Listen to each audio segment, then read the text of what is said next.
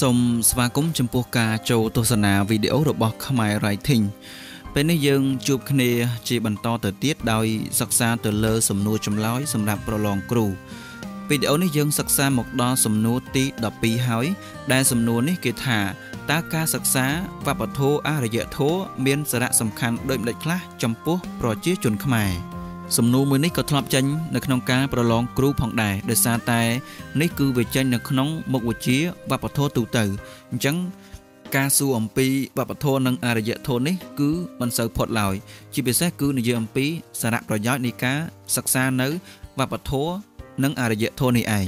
ឥឡូវនេះដើម្បីឲ្យដឹងថាវប្បធម៌អរិយធម៌មានសារៈសំខាន់ដូចម្តេចខ្លះចំពោះប្រជាជនខ្មែរ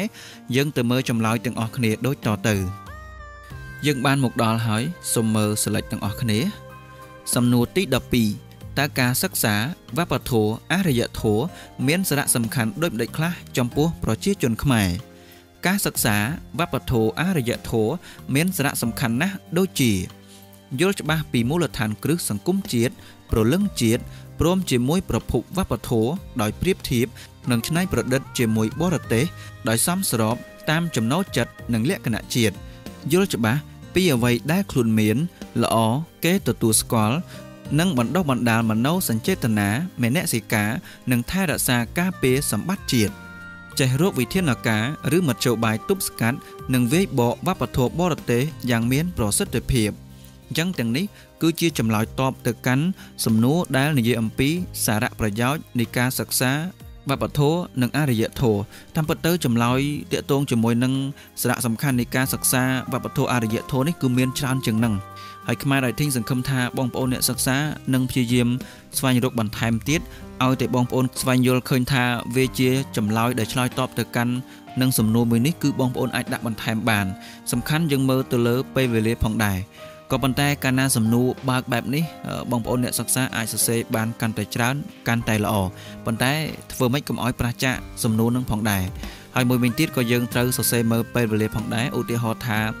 វិញ្ញាសាវប្បធម៌ទូទៅហ្នឹងគេដាក់មកដល់ទៅ4សំណួរហើយយើងធ្វើបានតែមួយសំណួរហ្នឹងគឺក៏មិនកើតដែរ ព្យាយាមធ្វើឲ្យបានគ្រប់សំណួរដែលគេដាក់ឲ្យនឹងទៅហើយជាពិសេសបើយើងមានពេលវេលាគ្រប់គ្រាន់យើងត្រូវលីលក់ពេលយ៉ាងណាឲ្យចម្លើយរបស់យើងនឹងឯងវាពេញលក្ខណៈផងដែរដូចជាក្នុងករណីនេះអញ្ចឹងសំណួរគេសួរលក្ខណៈទូលំទូលាយប៉ុន្តែចម្លើយដាក់មកបានតែ3ត្រេទេអញ្ចឹងបងប្អូនអាចធ្វើចម្លើយបន្ថែមបានតាក់ទងជាមួយនឹងអត្ថប្រយោជន៍ឬក៏សារៈសំខាន់ចំពោះប្រជាជនខ្មែរដែលកើតចេញមកអំពីការសិក្សានៅវប្បធម៌អរិយធម៌នេះឯង។ អញ្ចឹងវីដេអូមួយនេះសង្ឃឹមថានឹងបានជាប្រយោជន៍បានជាចំណេះដឹងដល់អ្នកសិក្សាទាំងអស់គ្នាប្រសិនបើមានការខុសឆ្គងសូមខន្តីអធិស្ឋានហើយបងប្អូនអ្នកសិក្សាអាចសរសេរជាសំណួរនិងមតិយោបល់ផ្សេងៗដាក់នៅខាងក្រោមវីដេអូនេះចុះជាចុងក្រោយសូមអរព្រគុណនិងអរគុណណាស់សម្រាប់ការទស្សនាជួបគ្នានៅវីដេអូក្រោយជាបន្តទៀត